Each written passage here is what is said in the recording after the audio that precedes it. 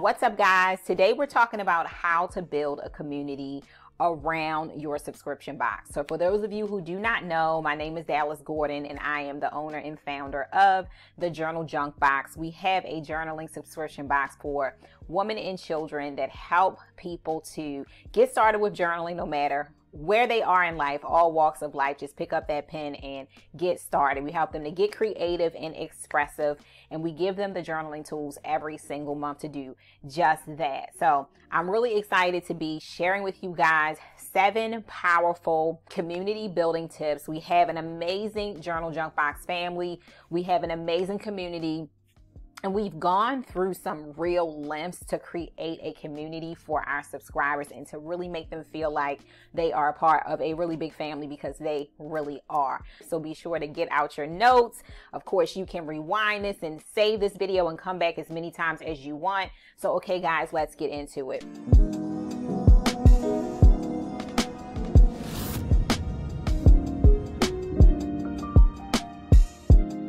So the first thing, guys, that I want to put out there is that I know that when a lot of my clients hear I need to build a community, it comes off really scary. It comes off like a scary concept, especially if you are not that comfortable as it is on social media. It can be really, really scary to think about having to build this warm and fuzzy space for your subscribers. And being as though you're not that comfortable yourself in the online space and on social media and with different platforms, you may be feeling like, I don't know if I'm a community builder. Is that you? Let me know in the comments if that's you. You're not sure whether or not you have the goods, you have what it takes to actually even build a community. I can totally relate to you because that's how I felt at one time. So, one thing that I want to say to bring some comfort to you before we get started with the rest of the points is that you want to focus on building an experience that works for not just your customers, but also for you.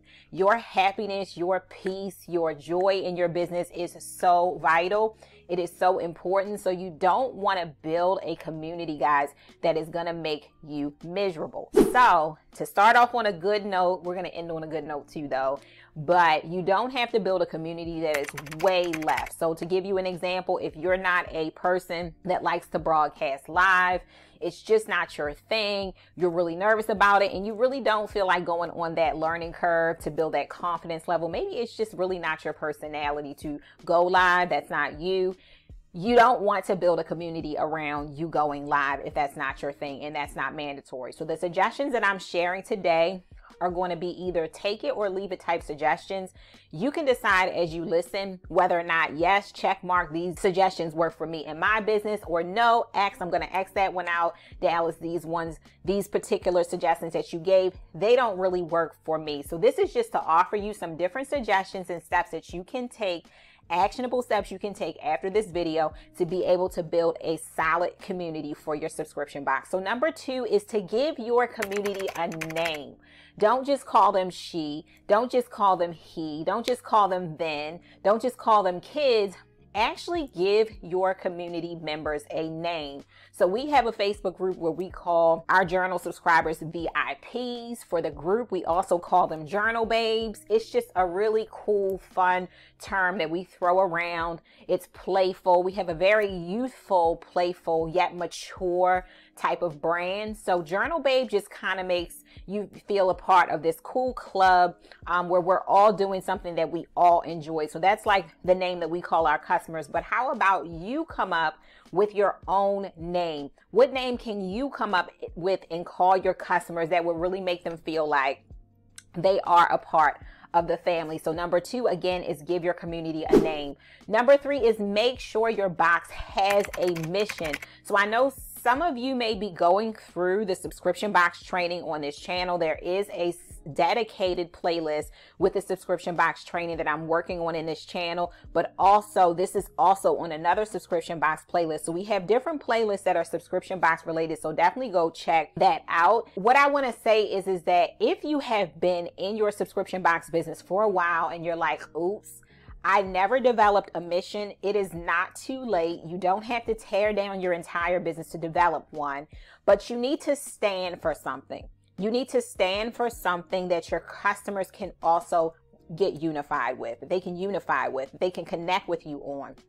So, our particular box, we have a mission that we want to give you the tools to express yourself with creative writing, to inspire you to pick up your pen, and also to inspire you to put your prioritize your self-care okay? So whew, i got a little crazy with the words but that's what our mission statement is and that's what we want to do. When it comes to children we want to give every children child the opportunity to be able to express themselves through creative writing as well um, and to have activities they can do to encourage them to create a habit of journaling.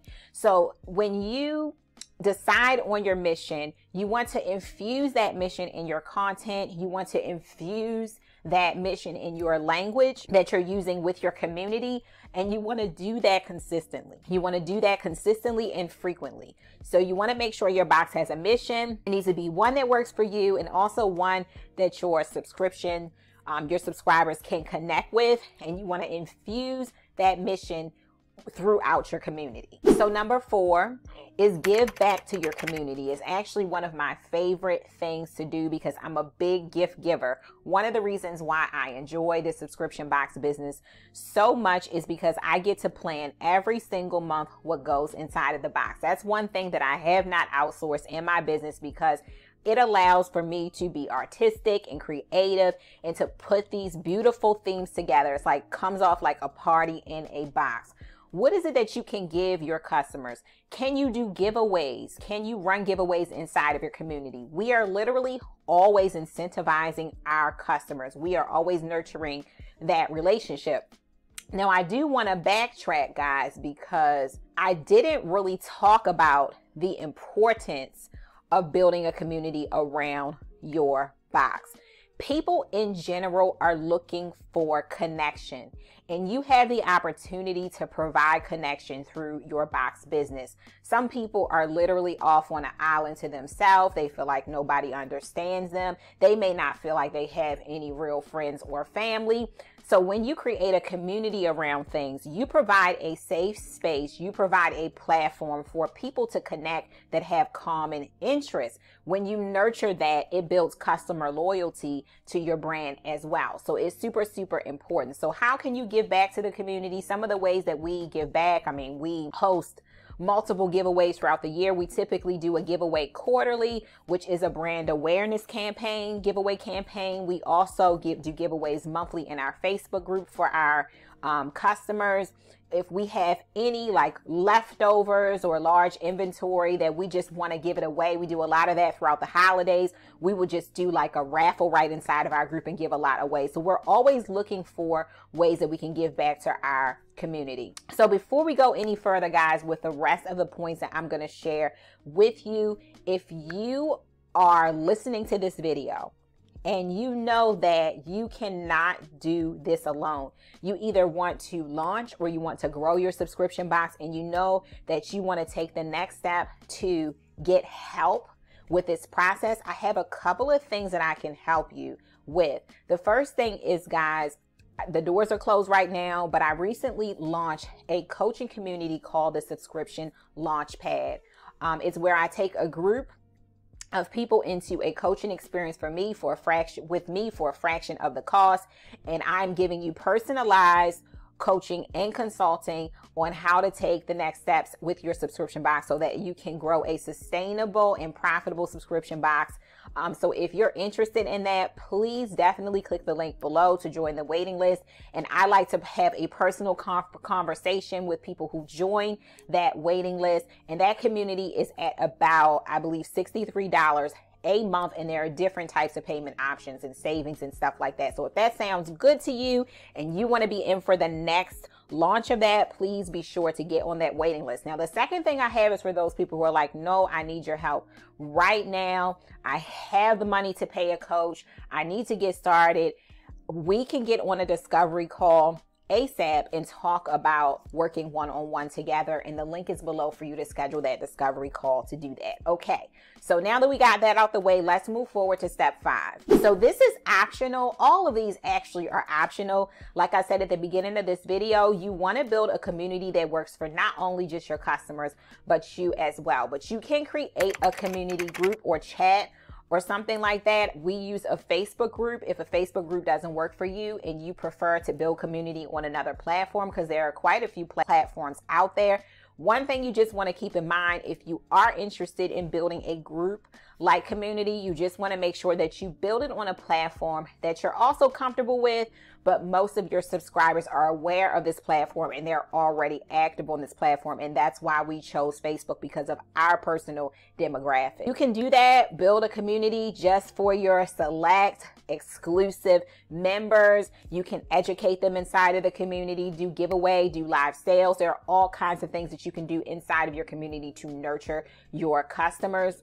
Um, also, you can go live to build community. Some people have a go live schedule where every week they're live and they're building that they're building their audience, but they're also doing it to nurture their community. That's something else that you could think about doing. Number six is to educate your community. Okay. You can give them exclusive access to something that no one else gets. It could be templates. It could be downloads, something that when they log into their members area, they're able to get access to it. Okay. And I would suggest basing whatever it is that you give them around how to use your product, that it brings them into contact with your product, that whatever it is that they're getting access to helps them to use your product more because the more that they use your product, the more longevity they will have as a customer, the longer that they will stay, the longer they will stay subscribed, okay? Because your product will become a part of their everyday life. So, number seven is keeping the communication open with your customers. One, like, think about it if you're in a relationship with someone who literally never gives you notice of anything, it's definitely one of my pet peeves. Like if you're going to be late, fine. Just let me know. If you're not going to show up, fine. Just give me notice. Like, please respect my time. That's one of my biggest pet peeves ever is when somebody does not respect my time when it just could take in 2024 a simple text or phone call and you didn't do either. You just didn't show up Think about how that makes you feel when the, your closest friends in your life don't communicate with you. So do your best not to throw curveballs when it comes to your community members or your subscribers that they're not expecting and now they're upset and they're they're going wild with customer service and all that when all of that chaos could have been avoided if you had just communicated just like you would do with a family member or a friend you can put out a lot of fires when you are proactive with communication. So I hope that all of these helped you. But before you go, if this content helps you and you want me to continue, you want to give me a pat on the back to continue putting content out here, and you want to let YouTube know that this is the good stuff, please be sure to hit that subscribe button, like this video, and comment below just to let me know hey, keep going. I'm loving the content. And I also have some free gifts for you down in the description box as well. So you can definitely sign up for a few of the freebies down there. So don't forget to check those out as well, guys. And thank you so much for tuning in. Be blessed.